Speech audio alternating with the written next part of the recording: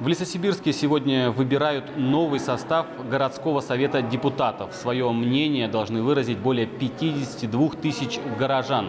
Каждый избиратель получает по два бюллетеня. В одном из них список партий, в другом так называемые кандидаты-одномандатники, то есть те, кто баллотируется по одномандатному округу. Всего их в городе 11 и поделен Лесосибирск на 31 участок. В Лесосибирской школе номер 9 сразу два избирательных участка. В целом здесь должно проголосовать 4700 лесосибирцев. В первой половине дня активность избирателей была не очень высокой. Возможно, повлияла погода. В Лесосибирске пасмурно, а утром шел небольшой дождь. И тем не менее люди, в основном это старшее поколение, отправились на выборы. На выборы хожу регулярно, потому что это дело мое. Не просто так, я не упускаю этого возможно- этой возможности. Ну, настроение какое? Погода плохая, а так все хорошо. Все нормально. К 13 часам на этом избирательном участке явка перевалила за 10%. Председатель комиссии, работающий на выборах уже более 10 лет, исходя из своего опыта, отмечает, что вообще в течение дня голосования существует несколько пиков активности избирателей. Ну, обычно вот как бы три таких пика. То есть вот утром люди прошли и на работу, либо на дачу поехали, если это вот дачный период, скажем так. Потом вот обеденный период, часа два, народ идет активно, опять спад. И ближе к вечеру, это те, кто с работы пришел, и они, ну, если вот они еще успевают, они тоже подходят. На западе края выборы проходят сразу в нескольких территориях. Депутатский корпус обновят в городах Ачинск, Шарыпово, Боготол и нескольких районах. В Назаровском районе в этом году рекордное количество кандидатов. Для участия в выборах заявления подали свыше 200 человек. Это обусловлено тем, что в Назаровском районе предстоит избрать депутатов 10 сельских советов и полностью обновить состав районного совета депутатов. В Назаровском районе с утра открыли двери 63 избирательных участка. Но активность сегодня небольшая, потому что погода может быть плохая или еще время утреннее, раннее. Но надеемся на то, что после обеда народу будет побольше. В Назаровском районе право голоса имеет более 16 тысяч жителей. Наверное, это все приходит с годами, вот понимание того, что э, уже возраст и что трезвая оценка этому даю- делаешь оценки трезвые. И думаю, что ну, это нужно обществу. Ну, потому что мне не- немаловажно, кто будет у нас править нами и решать на- на законы. Это же очень важно. А проблем много хватает на селе. Я даже помню, мои родители ходили. Это был как праздник. В честь выборов в Назаровском районе, так же как и в других территориях, концерты решили не проводить. Как отметили в районной избирательной комиссии, никаких нарушений на данный момент не зарегистрировано. Жалоб и заявлений не поступало. В Ачинске в день голосования пока зафиксировано только одно нарушение.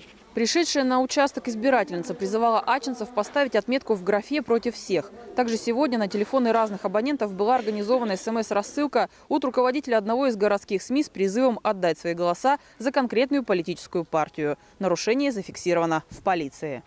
Единый день голосования в самом разгаре. Сегодня в городе Канске выбирают депутатов городского совета пятого созыва.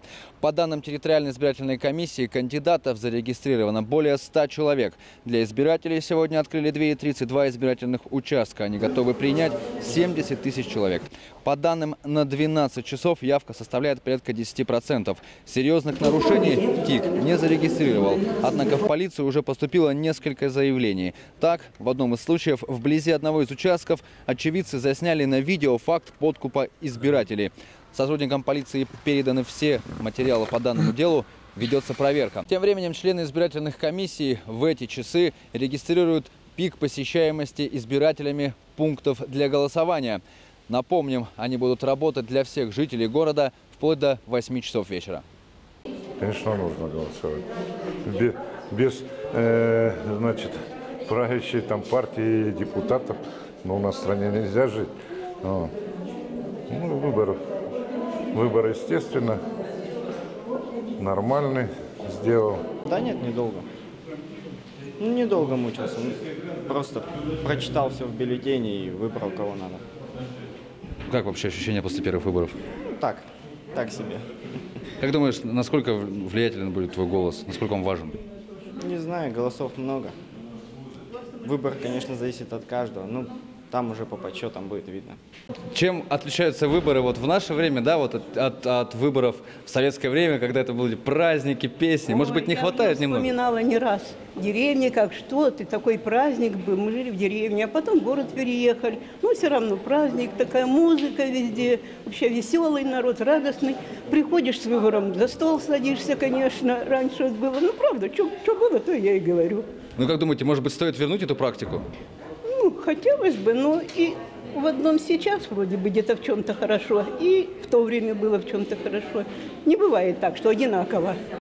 Участковые избирательные комиссии, а их в Минусинском районе 32, по-прежнему работают без происшествий.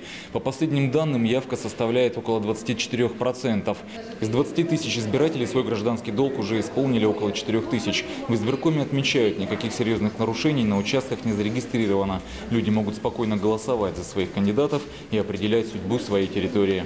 Ну, я считаю, что голос должен дать свой каждый человек, э, проголосовать за того, э, кого считает э, достойной этой должности. Как бы. Интересно, как поворачиваться с новыми выборами, с новым председателем. Жизнь-то на селе или как поворачивается. И мне хочется кого-то выбрать ими. А может, одного не хватит, а я проголосую за. Вот и, пожалуйста, и выбрали.